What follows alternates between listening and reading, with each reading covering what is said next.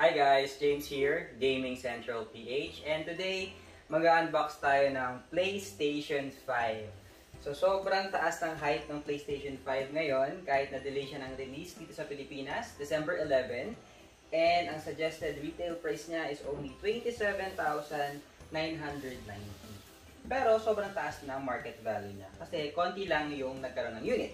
So ito yung pinaka-box, meron ditong uh, foreign language, hindi ko alam kung anong language yan. And nakalagay dito yung size niya, which is 825 gigabytes SSD. Yan.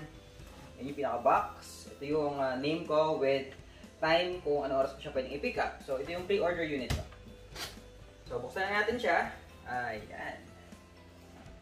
Now, ang kaisa-isang unboxing video na pinanood ko is yung kay Bitoy. Hindi ako nanood ng kahit anong unboxing video, maliban doon. Kasi gusto kong mag-unbox ng PlayStation 5 na parang first time talaga. Okay, parang baliktad yata. Alright. Alright. So, ito, yung controller niya. Uh, DualSense. DualSense or DualSense 5? I don't know. So, here's the controller. Buboot up yan. Meron siyang color blue indicator here. Ayan. Really nice. And, we have here the power cable. Nakatali na rin siya. So naman sa side na to, we have the manuals that no one is reading. Pero good na meron pa rin. Kasi lahat ngayon sa YouTube na, di ba? And we have here the stand. Yan. So meron na kasamang stand yung unit nila. Um, HDMI 2.0. Ikulang pa ba tayo? Saan yung charger? Ah, ito. Merong secret pocket. So, ito yung charger niya. So, Type-C uh, charger na siya. Type-C cable. Which is nice kasi yung kay Xbox Series X hindi pa rin eh. Yung ano pa din sila, micro. So, tanggalin na natin tong parang compartment pang mga accessories. Diyan lang. Wow! Nice!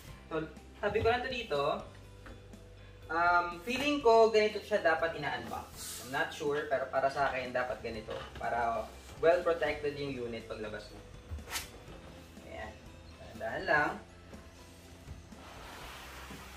Nice. Massive. Medyo bigat siya guys. So yung box, ko lang sa baba. Ingatan natin. Hindi naman tayo si Matteo Gudicelli. Right. So ito, um, I call this tray ng itlog. Kahit sa PlayStation 4 pa.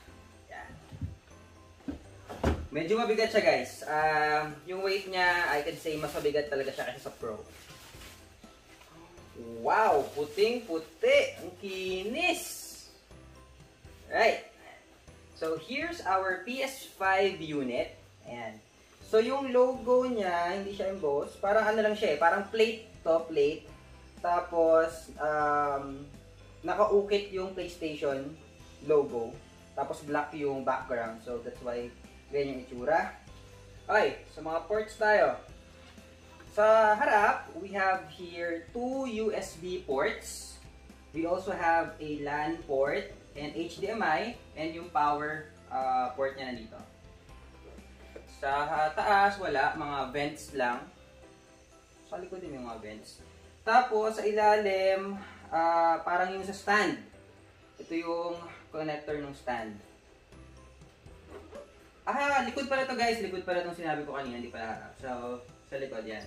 So, sa pinakaharap ng PlayStation 5, we have here another port para sa USB and Type-C. Type-C port. Tapos, power and eject button. So, ayan. So, again, sa likod, yung mga normal ports, which is LAN, dalawang USB ports, uh, power cable, at saka, um, power port, at saka yung HDMI.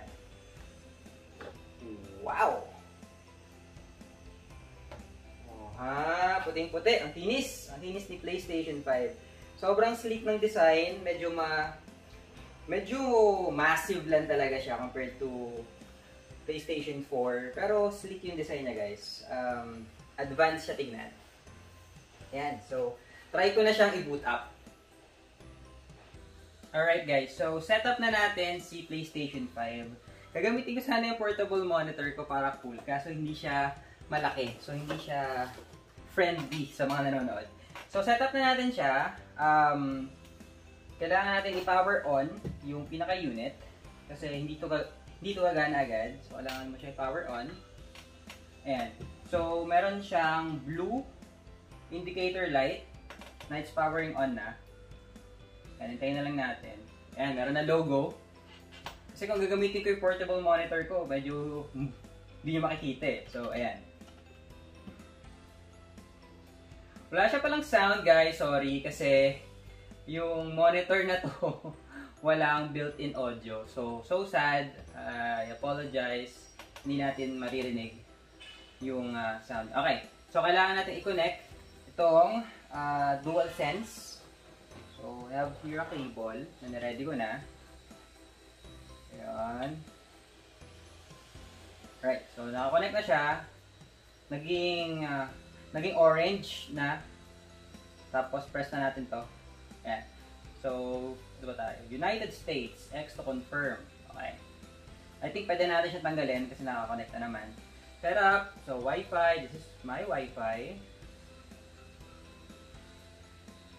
Connect lang ako sa Wi-Fi ko. Real quick. Ang, ang bilis niya guys ha. Yung pagpindot mo sa um, sa mga options, ang bilis ng paglipat. Ang, ang mabagal lang is yung wifi ko. Connecting to uh, connecting to the access point. Nasaan na ba yung wifi ko? Kunin ko yung wifi ko. Lipat natin dito. Bagal.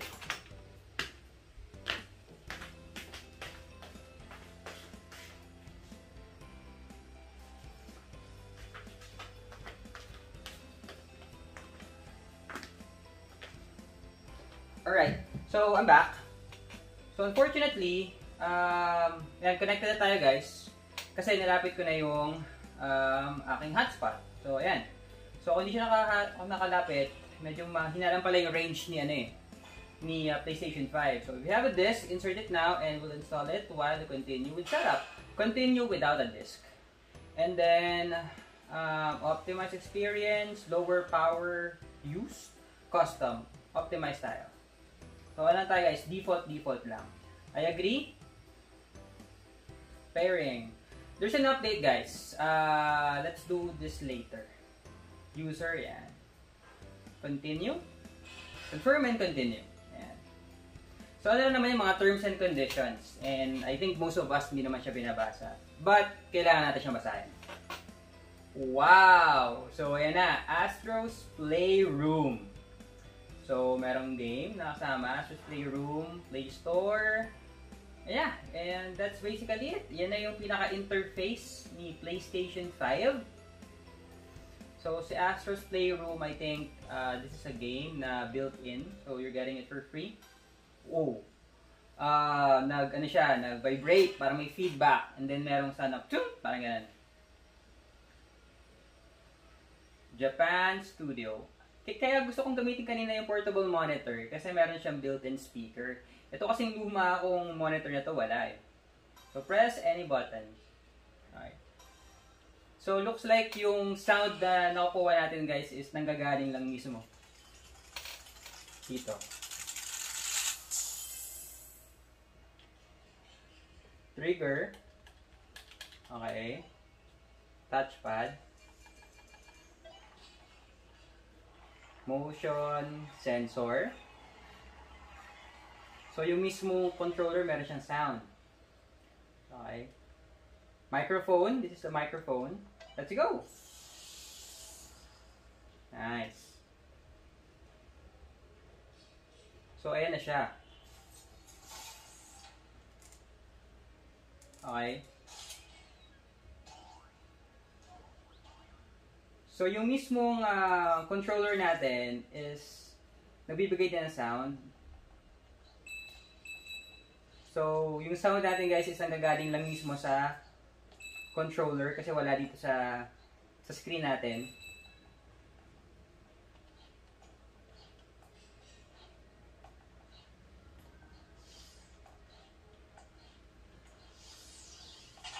Nice.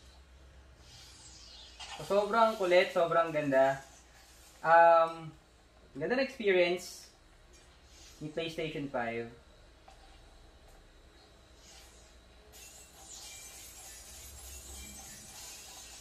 Imagine kung meron pang sound yung monitor natin, mas ramdam natin. Kasi ngayon guys, ano lang eh. Sa controller lang lahat. Grabe yung haptic feedback niya. Talagang ramdam mo.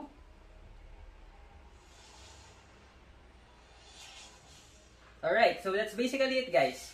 Yan yung PlayStation 5. This is James again, Gaming Central PH. Stay safe and happy gaming sa ating lahat.